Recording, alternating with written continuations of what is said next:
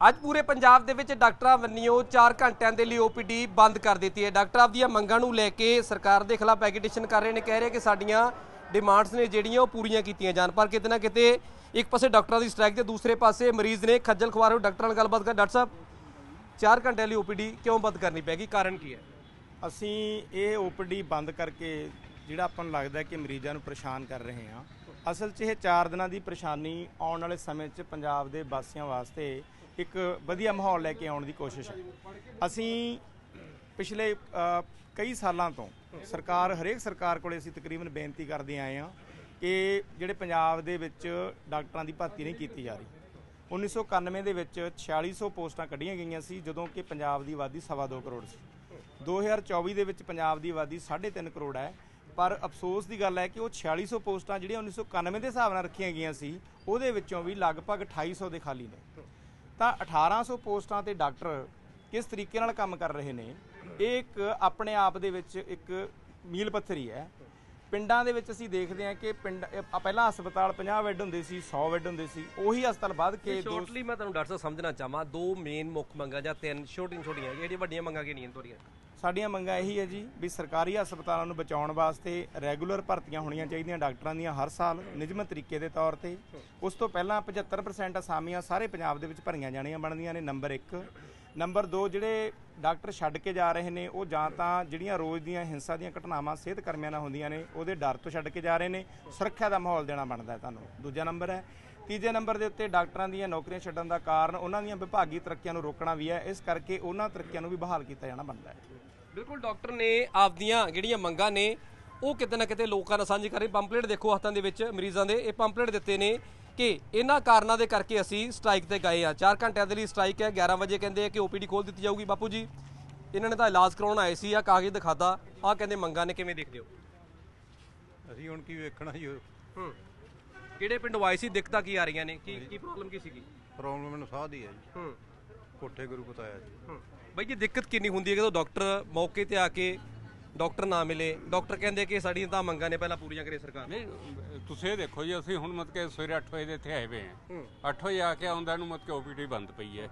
ਤੇ ਮਤ ਕੇ ਅਸੀਂ ਮਤ ਕੇ ਪਰਸੋਂ ਮੈਂ ਆ ਕੇ ਗਏ ਪਰਸੋਂ ਮੈਨੂੰ ਦਵਾਈ ਦਿੱਤੀ। ਪਰਸੋਂ ਕਹਿੰਦੇ ਵੀ ਕੱਲ ਸੋਮਵਾਰ ਨੂੰ ਆ ਕੇ ਤੂੰ ਕੰਨਾਂ ਦਾ ਸਫ਼ਾਈ ਕਰਾ ਕੇ ਲੱਭਗ ਜੀ। ਤੇ ਅੱਜ ਮੈਂ ਸਫ਼ਾਈ ਕਰਾਉਣ ਵਾਸਤੇ ਆਇਆ ਤੇ ਅੱਜ ਮਤ ਕੇ ਓਪੀਡੀ ਬੰਦ। ਆ। ਕਿੰਨੇ ਕਿਲੋਮੀਟਰ ਚੱਲ ਕੇ ਆਏ ਹੋ? ਔਖਾ ਕਿੰਨਾ ਹੁੰਦਾ ਇਸ ਤਰ੍ਹਾਂ ਦੇ ਹਾਲਾਤਾਂ 'ਚ? ਮੈਂ ਤੁਸੀਂ ਦੇਖ ਲਓ ਮੈਂ 50 ਰੁਪਏ ਕਿਰਾਇਆ ਲਾ ਕੇ ਆਇਆ 50 ਰੁਪਏ ਲਾ ਕੇ ਜਾਊਂਗਾ ਹੁਣ। ਤੇ ਮੇਰਾ ਅੱਜ ਕੰਮ ਫੇਰ ਨਹੀਂ ਹੁੰਦਾ। ਕੱਲ ਦਾ ਡਾਕਟਰਾਂ ਨੇ ਤਾਂ ਪੰਪਲੇਟ ਦਿਖਾਤਾ ਕਹਿੰਦੇ ਆ ਮੰਗਾਂ ਪੂਰੀਆਂ ਹੋਣੀਆਂ ਚਾਹੀਦੀਆਂ। ਹਾਂਜੀ ਇਹ ਪੜ ਲਿਆ ਪਿਆ ਜੀ ਮੇਰੇ ਕੋਲ ਇਹ ਨਜ਼ਰ ਲਿਖਿਆ ਹੋਇਆ। ਹਾਂ ਇਹ ਬੇਬੇ ਔਖਾ ਕਿੰਨਾ ਹੈਗਾ? ਕਿਸ ਪਿੰਡ ਤੋਂ ਆਏ ਹੋ? ਕੀ ਬਿਮਾਰੀ ਕੀ ਹੈ? ਦਿੱਕਤ ਕੀ ਸੀਗੀ? ਬਲੱਡ ਵੱਧਦਾ ਸੀ ਜੀ। ਅੱਛਾ। ਹਾਂ। ਡਾਕਟਰ ਮਿਲੇ ਕੀ ਕਹਿੰਦੇ ਟਾਈਟ ਕਰਵਾਉਣ ਪਹਿਲੀ ਦਿਨ ਹੀ ਆਈ ਸਾਂਗੀ। ਹੂੰ। ਮਸਾਂ ਹੀ ਆਈ ਹਾਂ ਮੈਂ ਤਾਂ ਗੋਡੇ ਗਾੜੇ ਦੁਖਦੇ ਆਗੇ ਹੂੰ। ਤੇ ਡਾਕਟਰ ਮਿਲੇ ਨਹੀਂ ਹੁਣ। ਹੂੰ। ਬਹੁਤ ਤਕਲੀਫ ਹੈ ਜੀ। ਬਾਈ ਦਿੱਕਤ ਕਿੰਨੀ ਆਉਂਦੀ ਹੈ ਜਦੋਂ ਦਵਾਈ ਲੈਣ ਮਰੀਜ਼ ਆਵੇ ਤੇ ਡਾਕਟਰ ਨਾ ਮਿਲੇ ਡਾਕਟਰ ਫੜਾ ਦੇ ਨੇ ਹਾਂ ਪਰਚਾ ਵੀ ਪੜ ਲਓ ਇਹ? ਮੈਂ ਤਾਂ ਆਪ ਅੱਖ ਦਿਖਾਉਣ ਆਇਆ ਸੀ। ਅੱਛਾ। ਹਸਪਤਾਲ ਬੰਦ ਪਿਆ ਜੀ। ਹੂੰ ਹੂੰ। ਮੈਂ ਤਾਂ ਕੰਮ ਛੱਡ ਬਾਈ ਦਿੱਕਤ ਕਿੰਨੀ ਆਉਂਦੀ ਹੈ? ਜਿਵੇਂ ਤੁਸੀਂ ਦੱਸਿਆ ਕਿ ਮੈਂ ਕੰਮ ਛੱਡ ਗਿਆ ਸਾਰੇ ਬੰਦੇ ਕੰਮ ਛੱਡ ਦਿੱਕਤ ਤਾਂ ਹੈਗੀ ਹੈ ਜੀ ਪੂਰੀ ਆ। ਮੈਂ ਡੈਡੀ ਨੂੰ ਅੱਜ ਲੈ ਕੇ ਨਾਲੇ ਮੈਂ ਕੰਮ ਛੱਡਿਆ ਜੀ ਨਾਲੇ ਇਹਨਾਂ ਦਾ ਛੜਾਇਆ ਹੁਣ। ਹੂੰ। ਉਹ- ਉਹ ਤੋਂ ਡਾਕਟਰ ਨਹੀਂ ਮਿਲਿਆ ਜੀ ਹੁਣ। ਦੱਸੋ ਹੁਣ। ਦਿੱਕਤ ਤਾਂ ਹੈਗੀ ਹੈਗੀ ਹੈ ਜੀ ਹੁਣ। ਪਰ ਡਾਕਟਰ ਕਹਿੰਦੇ ਆ ਕਿ ਸਾਡੀਆਂ ਮੰਗਾਂ ਐ। ਇਹ ਪੂਰੀਆਂ ਹੋਣ ਅਸੀਂ ਫਿਰ ਓਪੀਡੀ ਬਹਾਲ ਕਰਾਂਗੇ। ਮੰਗਾ ਜੀ ਹੁਣ ਆ ਜਿਹੜੇ ਆਉਂਦੇ ਆ ਇਹਨਾਂ ਦਾ ਤਾਂ ਕੋਈ ਕਸੂਰ ਨਹੀਂ ਜੀ ਹੁਣ। ਬੇਬੇ ਕਿੱਥੋਂ ਆਏ ਹੋ? ਦਿੱਕਤ ਕੀ ਹੈ ਤੁਹਾਨੂੰ? ਇੰਨੇ ਉਦਾਸ ਜੇ ਲੱਗ ਰਹੇ ਹੋ ਕੀ ਗੱਲ ਹੋ ਗਈ? ਕਲਾਏ ਹੋਈ ਸੀ ਜੇ ਇੱਥੋਂ ਹੀ ਕਰਾਲਾ 10 ਦਿਨ ਹੋ ਗਏ ਕੁਝ ਖਾਂਦਾ ਪੀਂਦਾ ਨਹੀਂ ਜੀ ਮੇਰਾ। ਖਾਣਾ ਪੀਣਾ ਬੰਦ ਗਲਾ ਉਹਦਾ ਰੁਕਿਆ ਪਿਆ। ਡਾਕਟਰ ਨੂੰ ਅਸੀਂ ਚੰਡੀਗੜ੍ਹ ਵਾਲੇ ਦਿਖਾ ਕੇ ਅਸੀਂ ਹੁਣ ਰਿਪੋਰਟ ਦਿਖਾਉਣ ਵਾਸਤੇ ਆਏ ਹਾਂ ਵੀ ਡਾਕਟਰ ਦੀ ਸਲਾਹ ਲੈਣ ਵਾਸਤੇ ਆਏ ਵੀ ਅਸੀਂ ਕਿੱਥੋਂ ਇਹਨੂੰ ਚੈੱਕ ਕਰਾਈਏ। ਕਰਚੇ ਗਰੀਬੀ ਕਮਾਉਣ ਵਾਲਾ 4 ਮਹੀਨੇ ਹੋ ਗਏ ਬਿਮਾਰ ਹੋਏ ਬੈਠਿਆ ਗਲਾ ਉਹਦਾ ਰੁਕਿਆ ਪਿਆ ਤੇ ਖਾਂਦੇ ਪੀਂਦੇ ਕੁਝ ਨਹੀਂ ਜੀ। ਬਿਲਕੁਲ ਇਹ ਦਿੱਕਤਾਂ ਨੇ ਮਰੀਜ਼ਾਂ ਦੀਆਂ ਇਸ ਪਾਸੇ ਵੀ ਦੇਖੋ ਇਸ ਜਗ੍ਹਾ ਤੇ ਜਿੱਥੇ ਓਪੀਡੀ ਚੱਲਦੀ ਹੈ ਡਾਕਟਰ ਸਾਰੇ ਆਉਂਦੇ ਨੇ। ਇੱਥੇ ਵੀ ਇਹੀ ਹਾਲ ਹੈ ਇੱਥੇ ਵੀ ਲੋਕ ਨੇ ਉਹ ਡਾਕਟਰ ਕੋਲੇ ਆਉਂਦੇ ਨੇ। ਭੈਣ ਜੀ ਮਿਲੇ ਡਾਕਟਰ ਕੀ ਕਹਿੰਦੇ ਆ? ਨਹੀਂ ਡਾਕਟਰ ਸਾਹਿਬ ਕਹਿੰਦੇ ਹੜਤਾਲ ਆ। ਹਾਂ। ਦਿੱਕਤ ਕਿੰਨੀ ਹੁੰਦੀ ਹੈ? ਡਾਕਟਰਾਂ ਨੇ ਤਾਂ ਪੰਪਲੇਟ ਦੇ ਦੇ ਮਰੀਜ਼ਾਂ ਨੂੰ ਕਹਿੰਦੇ ਇਹ ਪੜ ਲਓ। ਸਰ ਮੈਂ ਸੈਟਰਡੇ ਵੀ ਆਈ ਮੇਰਾ ਐਕਸ-ਰੇ ਹੋਣਾ ਸੀ ਉਸ ਦਿਨ ਮਸ਼ੀਨਾਂ ਖਰਾਬ ਸੀ।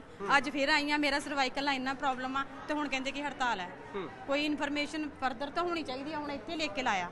ਫਰਦਰ ਇਨਫੋਰਮੇਸ਼ਨ ਕੋਈ ਨਹੀਂ। ਬਾਈ ਜੀ ਦਿੱਕਤ ਕਿੰਨੀ ਆਉਂਦੀ ਹੈ? ਡਾਕਟਰ ਕਹਿੰਦੇ ਕਿ ਸਾਡੀਆਂ ਮੰਗਾਂ ਪੂਰਾ ਪੂਰੀਆਂ ਹੋਵੇ। ਆ ਮਰੀਜ਼ਾਂ ਨੂੰ ਪੰਪਲੇਟ ਦੇ ਦੇ ਕਹਿੰਦੇ ਪੜੀ ਚਲੋ ਇਹ। ਸਰ ਕੋਈ ਕਿਤੋਂ ਆਉਂਦਾ ਕੋਈ ਕਿਤੋਂ ਦੂਰੋਂ ਚੱਲ ਕੇ ਆਉਂਦੇ ਆ ਜੀ। ਫਿਰ ਉਹਨਾਂ ਨੂੰ ਦਿੱਕਤ ਤਾਂ ਪਰੇਸ਼ਾਨੀ ਕਿਸੇ ਨੂੰ ਕੀ ਪਤਾ ਜੀ? ਮਰੀਜ਼ ਨੂੰ ਕੀ ਪਤਾ ਵੀ ਆ ਡਾਕਟਰ ਸਾਹਿਬ ਹੜਤਾਲ ਤੇ ਨੇ ਜਾਂ ਕਿਸ ਤਰ੍ਹਾਂ? ਹੋਰ ਤਾਂ ਬਾਕੀ ਜਨਤਾ ਤੁਸੀਂ ਦੇਖ ਹੀ ਰਹੇ ਹੋ ਜੀ ਬਾਹਰ ਸਾਰੀ ਖੜੀ ਹੈ ਬਿਲਕੁਲ, ਇਹ ਬਠਿੰਡਾ ਦੇ ਹਸਪੀਟਲ ਦੀ ਤਰਾਸਦੀ ਹੈ। ਡਾਕਟਰ ਨੇ ਸਟ੍ਰਾਈਕ ਤੇ ਚਲੇ ਗਏ ਨੇ ਓਪੀਡੀ ਬੰਦ ਕਰ ਦਿੱਤੀ। ਓਪੀਡੀ ਦੇ ਪਿੱਛੇ ਬੰਦ ਦਾ ਬੋਰਡ ਲਾ ਦਿੱਤਾ ਹੈ। ਡਾਕਟਰ ਕਹਿੰਦੇ ਕਿ ਸਾਡੀਆਂ ਮੰਗਾਂ ਨੇ, ਉਹ ਪੂਰੀਆਂ ਕੀਤੀਆਂ ਜਾਣ। ਉਨੀ ਦੇ ਸਟ੍ਰਾਈਕ ਹੈ ਜਿਹੜੀ। ਫਿਲਹਾਲ ਅੱਜ 4 ਘੰਟਿਆਂ ਦੀ ਸਟ੍ਰਾਈਕ ਹੈ। ਅੱਗੇ ਡਾਕਟਰ ਕਹਿੰਦੇ ਆ ਕਿ ਸਟ੍ਰਾਈਕ ਆਉਣ ਵਾਲੇ ਦਿਨਾਂ ਦੇ ਵਿੱਚ ਵੀ ਲਗਾਤਾਰ ਰਹੇਗੀ।